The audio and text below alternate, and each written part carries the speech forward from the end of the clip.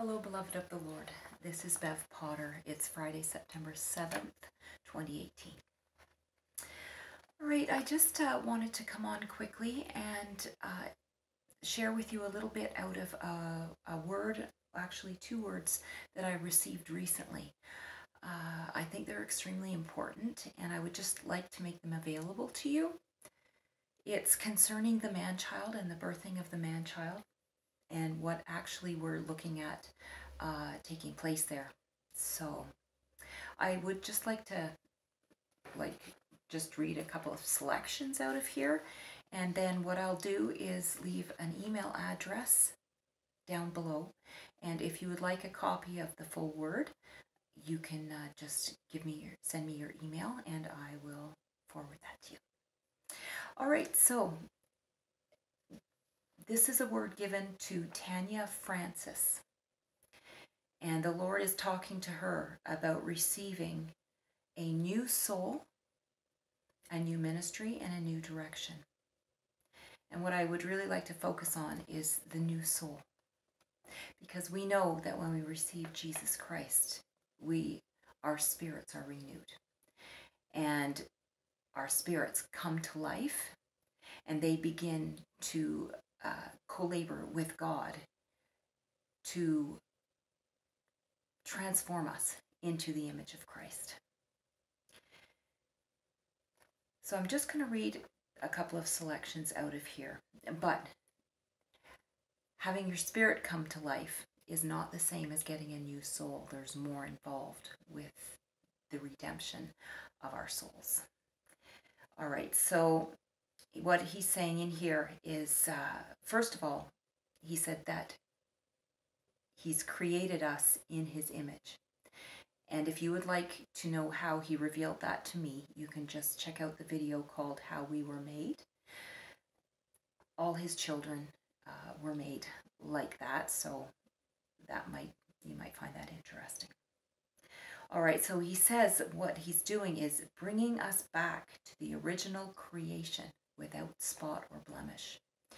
Now, at this point, this will be the man child, the first fruits, who will be redeemed in this way. It's those that have gone through uh, an extreme refining process to uh, the end of self, the death of self. All right, so it's and it's talking about the redemption spoken of in Luke 21 38. So those who are part of this company will become like Adam before the fall. There's something glorious on the horizon. All right. Now, so we have three groups uh, when we talk about Revelation the man child, the, the woman that gives birth to the man child, and then her offspring.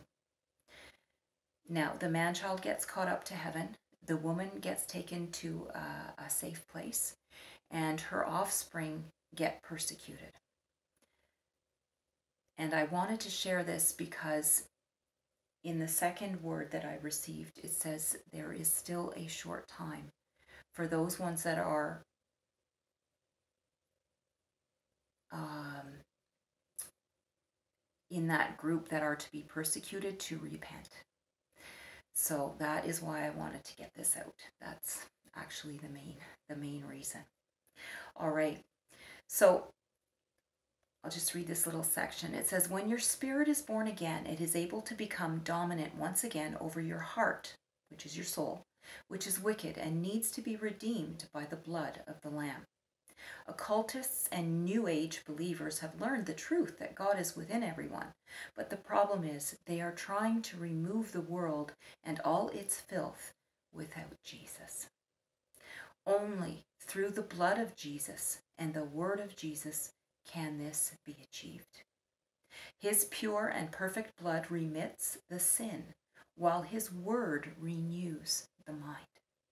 This is done in unison and simultaneously as you walk with Christ and allow him to change you. What does that mean to walk with Christ? That means radical obedience. It means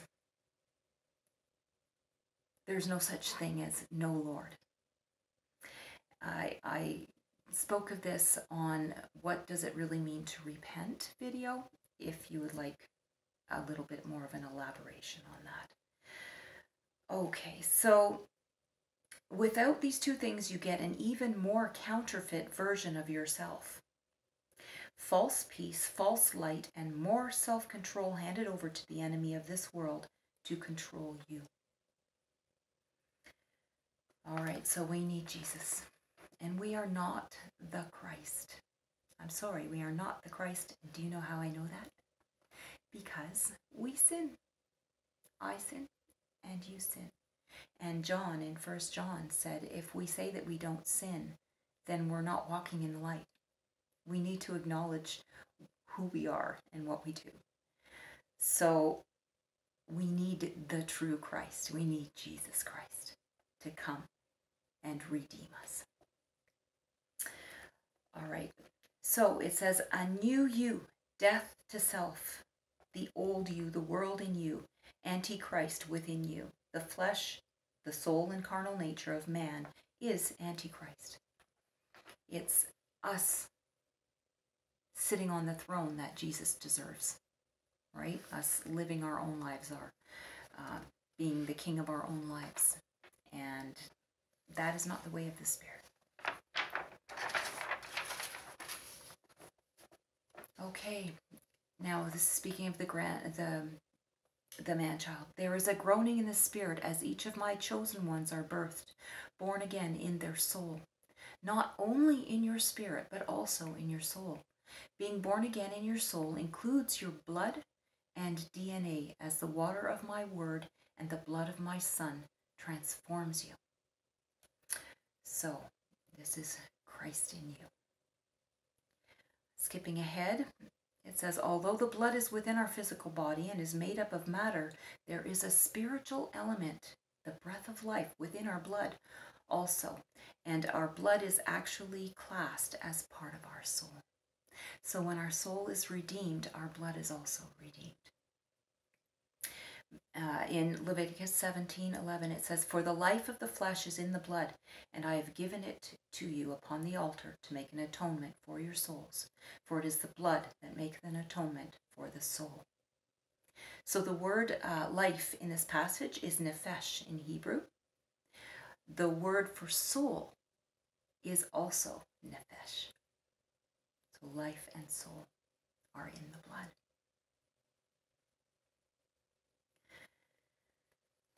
Okay, skipping down, the Lord said, I am forming an army, an uprising of my kingdom against the world.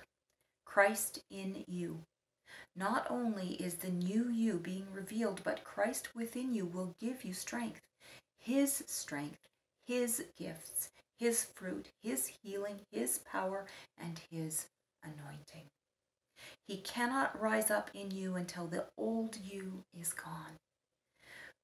Yes, please look at the end of self video where the Lord explained to me how this happens. But essentially, our radical obedience causes our self life to lose its grip on us. And eventually, it falls away. All right, so the old you needs to die, so the new you can be raised in resurrection power. The glory of my Son being revealed in my sons and daughters. Then there will be more of you. Those who are birthed in this time will help to raise up people in my kingdom by teaching them what it takes to be born again, not only in spirit, but also in soul and the physical body. Your soul is about to be born again your mind, your will, your conscience, and your emotions. Not only this, as you have believed in Jesus to do what he promised to do and followed him, his blood will remit the sins. The genetic inheritance, which is the blueprint of who you are, will be healed of impurity. This will be awesome to see. The corruption will be removed from your DNA so only the blueprint of your original self, whom God made, will remain. This is good news. No more corruption in your blood. Your DNA will be pure and perfect as is mine. You will become the real you, with Jesus in you, giving you his power. The resurrection of your physical body is when Jesus returns. That's later. So, in order for this to happen, we do not need esoteric knowledge or philosophy or theology. We just need humility and obedience. As it says in Luke 10:21, we need to become like little children. We need to acknowledge that God is our Father and it's his house and we need to submit ourselves to him fully. That's all. It's very simple. It's not easy, but it's very simple. All right, so it goes on to say, You will be healed at a cellular level. No more anxiety. That would be awesome. Then I asked God what being born again in our soul and DNA meant for man.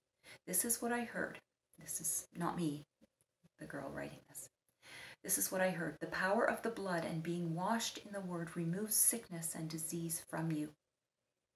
It's very interesting because last year when I was talking to the Lord about my sicknesses and telling him, you know, that I felt like I was under quite an attack uh, concerning my health, and he said, Too little, too late. and he was so happy. So I'm really praying that I will get to experience this deliverance from sickness. Anyway, uh, when you allow Jesus to remove the world from you and return you to the original creation, he is transforming your DNA and removing all sin and corruption from you. The consequences of sin is death. By removing the sin, you remove the sting of death. It's an outworking process. Some who are standing here today on this earth will not suffer physical death. Those who remain in Christ will be caught up with him and receive their immortal bodies after the tribulation. All right. After you are born again in your soul, you and Jesus together in partnership grow and develop the new man. The old man will try and rise up again, but you must resist the temptation to sin. Walk in the Spirit and not in the flesh. Jesus broke the power of the curse of death at the cross. Death and deterioration of the physical body can be halted as you walk in new life. It is all to do with the choices you make. Sin or no sin, sin leads to death, and obedience to the Spirit leads to life. It is much easier to follow the leading of the Spirit when your soul and DNA is healed and born again. Praise God. So.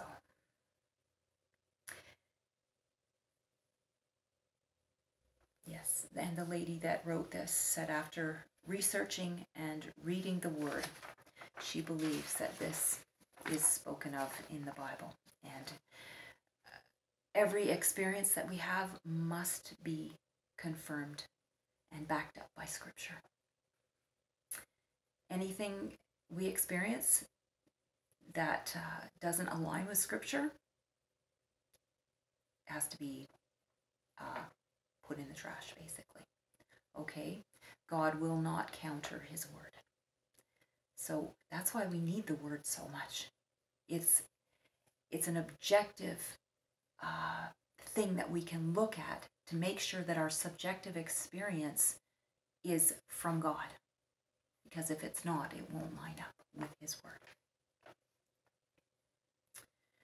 All we can really do is stay close to our Savior, live each day in His presence, and ask Him to show us any unyielded areas that are blocking all He has for us. Jesus died to give us fullness of life. He wants more than anything for us to be able to access it. And she has a prayer at the end, and I've just highlighted part of it. I want to be part of your heavenly army of saints that rises up in the power of Christ against him, the Antichrist spirit. Use me to glorify your name and glorify your kingdom. And I highlighted that because uh, when I received last year uh, that vision of uh, the judgment in favor of the saints. That's uh, Daniel 7:22. I also received John 17:1 where Jesus said, "The hour has come. Glorify your son so that your son may glorify, bring glory to you." And I believe this man child is uh, also the son. All right, and then I also received just yesterday a beautiful word from Behold I Come. I am not sure if that's a YouTube channel or a, a website. I don't have a, a person's name to go with it, but it's just Behold I Come. And it talks about the transformation of, it says, transformation of the crown jewels within the bride.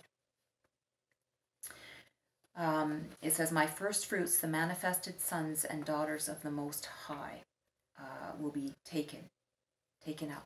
So this is also referring to the man child. And like I said, if you would like a full copy, because it's well worth reading the whole thing. Um, these are the ones who have laid their entire lives down on my altar as living sacrifices. This is the first remnant I will transform into my image to assist me in power and mighty authority as the world plunges into tribulation. So, the purpose of the man child being redeemed is to help the world and all those who choose to follow the Lord.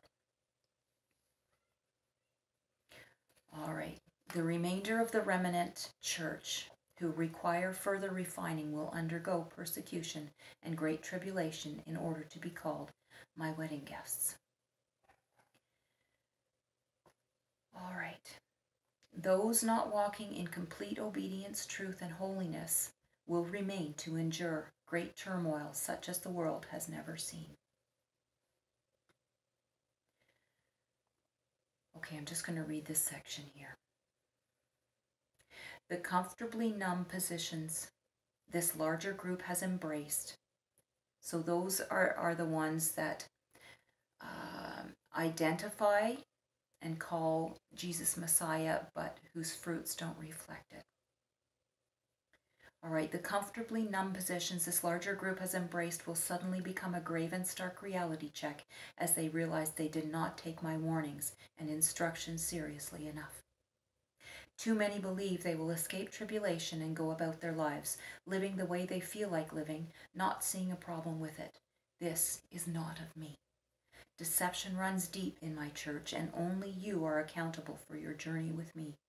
I desire only purity and will not take as my bride anything but that purity. Darkness and light cannot dwell together, therefore, any form of darkness, however slight, when willfully accepted in one's life, will not be accepted to be my holy bride. Events unfold now with terrible speed, and for those still dabbling in the things of the world but professing me, the outcome will be bitter. But I will never forsake you if you continue to seek me. After I translate my pure bride, they will be a great comfort to the remnant left for a time, as you will witness my glory radiating from them, and truth will manifest before your eyes. There is still a moment to choose to repent. But I tell you, this opportunity will end suddenly and abruptly.